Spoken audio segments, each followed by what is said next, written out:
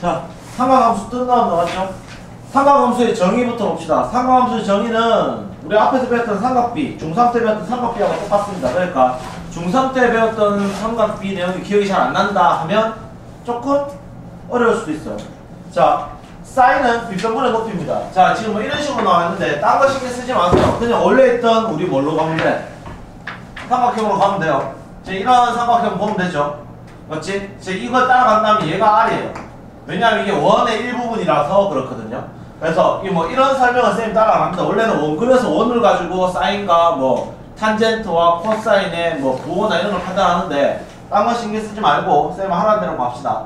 자 이때 높이를 y라 하고 얘를 x라 한다. 그러면 코사인은 r분의 x가 되겠죠? 탄젠트는 x분의 y입니다. 맞죠? 그냥 이 정도만 알고 지나가면 됩니다. 원 그려 가면서 이짓할 필요는 없어요. 됐죠? 그 다음 사각함수 사- 그 부호인데요. 자 이거는 하나 넣으라 했다. 맞지? 맞니? 자, 1 싸우면은 전부 다 플러스입니다. 자, 이거 외워라 했지? 그냥 올 스타킹 뭐 이렇게 해도 되고 올 산타크로스 해도 되고 뭐 얼싸 안고 해도 되고 어떻게든 외우기만 하면 돼요. 다시 올, 올이 뭐야? 전부 다 얘기입니다. 전부 다 플러스예요. 맞니? 올 산타 크로스 사, 산타 크로스죠? 맞지? 어 그냥 딴 걸로 가자. 올 스타킹 자, 올 스타킹 가면 올 스, S죠? 맞지?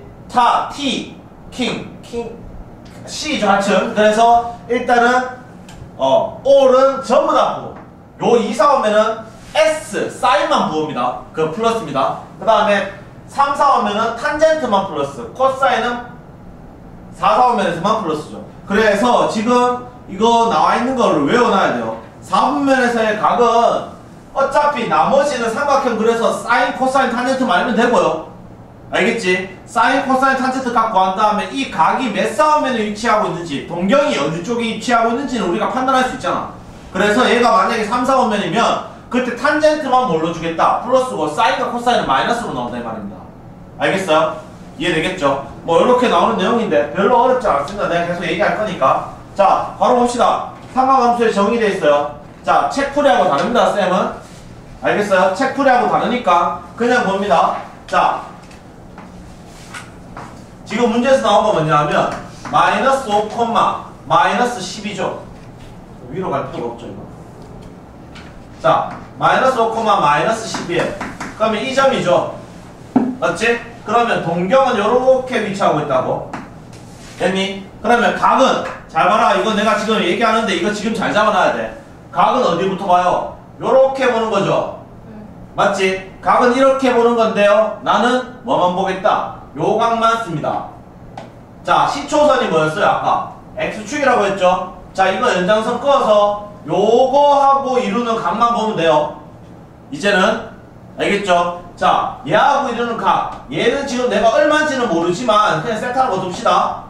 됐죠? 그리고 요거하고 직각으로 이루게 되니까 요런 직각삼각형 하나 만들 수 있어 없어? 있죠? 자, 길이만 좀 적어봅시다. 길이만 적으면 이 길이는 12죠? 이 길이는 5고요. 우리 피타고라스 쓰면 이 길이 13 정도는 구할 수 있을 겁니다. 됐죠? 자, 그리고 사인, 코사인, 탄젠트 갖고 하자. 자, 사인 세타는요. 자, 세타는 내가 요 각을 언급한다 했어요. 됐지? 사인 세타는요. 빗변분의 높이에요.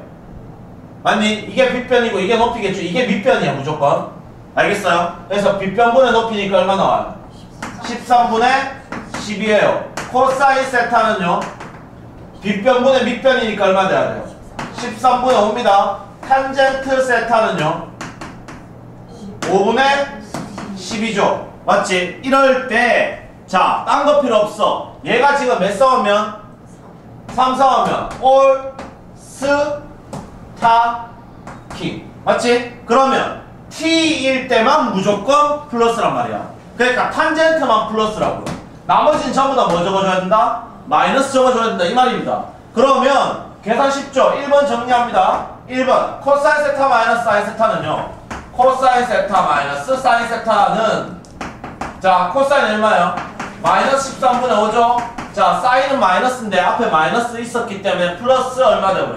13분의 12 그래서 13분의 얼마 돼요? 7 이렇게 나온다고요 이해됩니까? 이해되겠어요? 그 다음 2번은요? 2번은 13 곱하기 사인 세타 곱하기 탄젠트 세타 곱하기 한거 분의 24야. 그러면 내가 지금 다 구해놨잖아. 맞지? 자, 그대로 갈게요. 13 곱하기 사인 세타가 얼마야? 마이너스 13분의 12죠? 탄젠트 세타는요? 플러스 5분의 12거든요? 그 다음에 여기에 24예요. 자, 약분할 거 약분하고 본분수 쓰면 답입니다. 13, 13 날라가 안 날라가? 날라가죠. 자, 본분수 쓰면 12, 12도 약분됩니다. 맞죠? 분자 문자니까. 얘는 1분의 24잖아. 그럼 약분하고 남는 건 일단 9는 마이너스입니까? 맞죠? 그러고 12하고 2도 약분되죠? 그럼 얼마 나와요? 6분의 5. 단순 계산 문제이기 때문에 틀려서는 안 되는 문제입니다. 그 다음 상하함수 정의에 관한 문제 또 나왔다. 지금 뭐돼 있어? 세타가 얼마로 돼 있어? 4분의 3파이죠. 자, 4분의 3파이 각도 몇 도인지 계산해봐. 60분법으로 계산해보세요. 4분의 3파이는 135도입니다. 맞죠? 그러니까 몇 싸우면 위에 있다는 거야? 몇 싸우면? 2 싸우면. 그럼 지금 이렇게 가고 있는 거야. 이게 세타라고요. 맞죠? 이게 4분의 3파이고. 하지만 나는 뭘로 본다? 뭘로 본다? X축과 본다. 맞지? 그러면 실제로 이 값은 얼마다? 4분의 1파이죠. 맞죠? 자, 문제에서 다른 건 안 줬지만 각을 줘버렸죠. 특수각. 자, 표 알고 있어야 됩니다. 자, 난 바로 갑니다. 사인 4분의 파이, 코사인 4분의 파이, 탄젠트 4분의 파이입니다. 됐어요? 이제 따로따로 구합시다. 왜?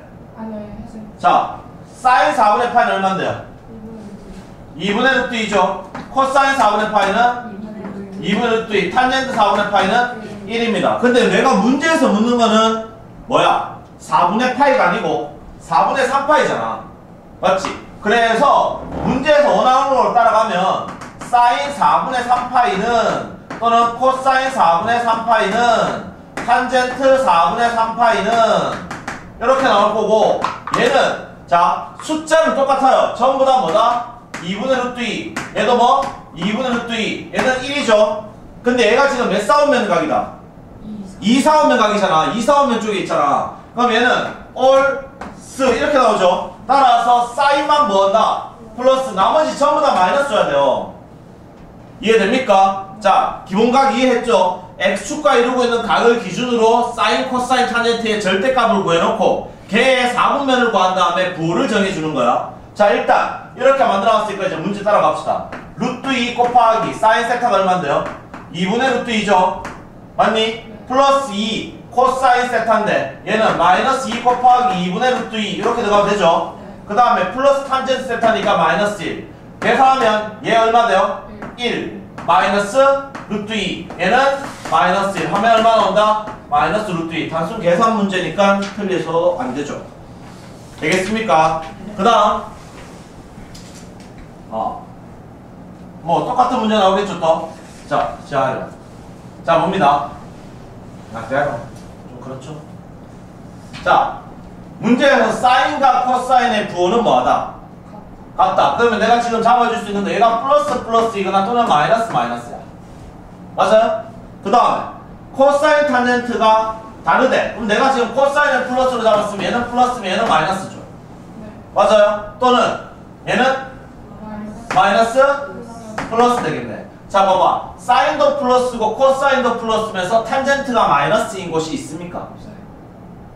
한 군데만 플러스였지 1사분면 전부 다 플러스 나머지는 한 군데만 플러스였어 근데 사인과 코사인이 플러스이면서 탄젠트만 마이너스인 데는 없어요 그럼 우리는 뭘로 봐야 돼? 밑에 걸로 봐야 되죠 이 말은 무슨 말이야? 사인은 마이너스고 코사인은 마이너스고 탄젠트는 플러스 나오는 거 맞죠? 그러니까 굳이 따진다면 얘는 전체 맞죠?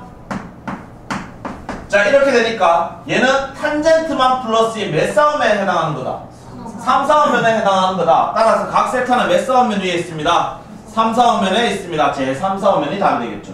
어렵지 않습니다. 맞죠? 자, 11번. 자, 5번에 나왔어요. 세타가 0부터 2, 야, 자, 2분의 파이부터 파이까지네요. 아, 얘는 몇 4분면에 존재하고 있다? 제 2, 4분면이다. 이걸 알고 있어요. 맞지? 맞니? 자, 2, 4분면에서는요. 똑같이 했지. all 쓰기 때문에 뭐 나와요? 사인만 뭐가 되고요? 플러스 코사인은요? 마이너스 탄젠트는요? 마이너스 나와야 돼요. 그러면 원래 이거 풀 때 어떻게 풀었지? 절대값 풀 때는요. 얘가 플러스면 안에 있는 값이 플러스면 플러스 달고 나왔고 안에 있는 값이 마이너스면 마이너스 달고 나왔거든. 그럼 사인은 플러스니까 얘는 플러스 사인 세타죠. 맞죠? 자 알겠지만 알겠지만 루트 a 제곱은 절대값 a가 됩니다. 그럼 실제로 얘는 코, 절대값 코사인에 해도 되죠? 맞죠? 절대값 코사인에 해도 돼요. 그럼 얘는 플러스 절대값 코사인 A 아 세타 그 다음에 플러스 절대값 탄젠트 세타 되죠. 그리고 혹시나 해서 자 코사인 세타 곱하기 코사인 세타는요 코사인 세타를 몇 번 곱한 거야? 이거죠 원래는 맞지? 맞아요. 근데 얘를 애들이 적다 보면 이게 한 덩어리잖아. 요렇게 적어도 원래는 무방하단 말이야. 맞지? 맞죠? 갈로 항상 적을 수가 없잖아. 요렇게 적어도 무방한데 다른 사람들이 봤을 때 이렇게 적어버리면 이게 사인 900이란 말이야. 아니면 사인 30을 제곱한 거야. 헷갈리잖아. 그래서 제곱은 항상 여기 적는 게 아니고 요 함수 위에 적습니다. 그래서 요거는 요렇게 적는 게 아니고요. 요렇게 적는 게 아니고 요거하고 똑같은 거. 코사인 세타를 제곱했습니다. 요렇게 적어버린다고. 알겠어요? 그래서 얘는 코사인 세타를 제곱한 형태예요. 제곱과 루트가 붙으면 절대값이 나오는 건 알고 있기 때문에 자 그럼 다시 정리할게요. 얘는 플러스 사인 세타죠. 맞지? 코사인 음수니까 나올 때 마이너스 달고 나옵니다. 맞죠? 탄젠트 음수로 나올 때 마이너스 달고 나오겠죠? 이해됩니까? 그래서 답은 플러스 사인 세타 마이너스 코사인 세타 마이너스 탄젠트 세타 이렇게 나오겠죠?